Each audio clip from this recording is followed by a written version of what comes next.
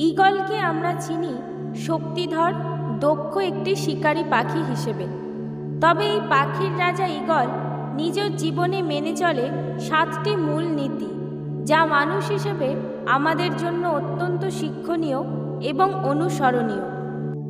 আজ এই ভিডিওতে এই সাতটি নীতির মধ্যে তিনটি নীতি নিয়ে আলোচনা করা হবে।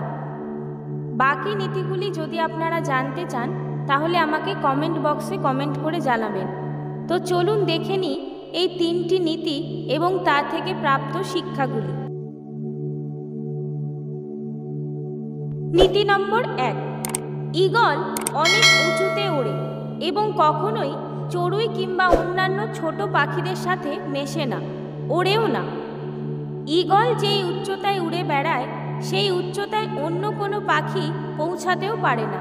এই জন্যই ঈগল একা ওড়ার সিদ্ধান্ত নেয়, কারোর সাথে দল বেঁধে নয়। এই নীতি থেকে আমরা শিখতে পারি যে, মানুষ হিসেবে তোমাকেও জীবনে চলার পথে এমন মানুষগুলোর সাথেই চলতে হবে যারা তোমার সমান স্বপ্ন দেখে, যাদের সাথে তোমার দৃষ্টিভঙ্গি মেলে, যাদের সাথে থাকলে তোমার ব্যক্তিগত উন্নয়ন সম্ভব হবে।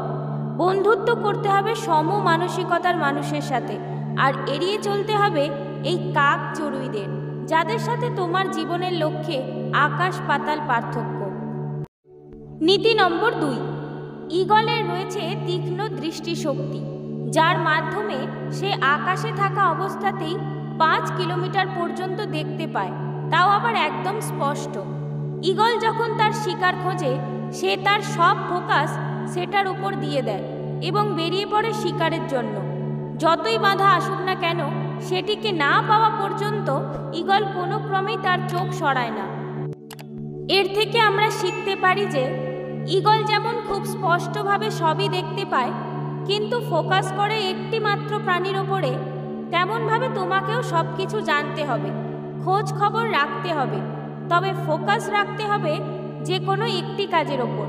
নিজেকে জানো, জীবনের লক্ষ্য নির্ধারণ করো, এবং সেই একটি লক্ষ্যের পিছনেই ছোট। যত বিপত্তি আসুক না কেন, ফোকাস হারানো চলবে না।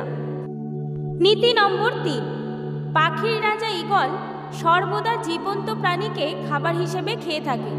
কখনোই কোনো মৃত জিনিস তারা ভক্ষণ করে না। এর থেকে আমরা শিখতে পারি, রোজ রোজ নতুন শক্তির চাহিদায় ঈগল পাখি কখনোই মৃত কিছু না খেয়ে বরং জীবন্ত ও নতুন কিছু শিকারের পেছনে ছোটে। ঠিক একইভাবে গতিশীল এই পৃথিবীতে নিজেকে এগিয়ে রাখার জন্য নিজেকে সর্বদা নতুন সব তথ্য দিয়ে আপডেটেড রাখতে হবে। প্রতি সেকেন্ডেই বদলে যাচ্ছে অনেক কিছু। তাই সর্বক্ষণ তোমাকে জানতে হবে সর্বশেষ তথ্য এবং খবর।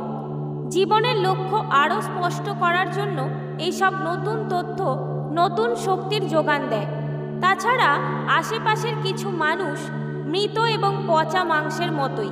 তারা সর্বদা এমন কিছু কথা বলে যা আমাদের নিরুৎসাহিত করে। তবে এখানে শিক্ষা নিয়ে হাজির হয় ঈগল পাখি। সে যেমন কাক চড়ুইদের মতো পাখিদের জন্য নিরুৎসাহিত না হয়ে আরও উঁচুতে ওড়ে, তোমাকেও কোনো কিছুতে কান না দিয়ে ঈগলের মতোই এগিয়ে যেতে হবে নিজের স্বপ্ন ছুতে। তো এই ছিল আজকের ভিডিও। ভিডিওটি দেখার জন্য অনেক ধন্যবাদ। ভিডিওটি ভালো লাগলে লাইক করবেন শেয়ার করবেন এবং চ্যানেলটিকে সাবস্ক্রাইব করে পাশে থাকবেন।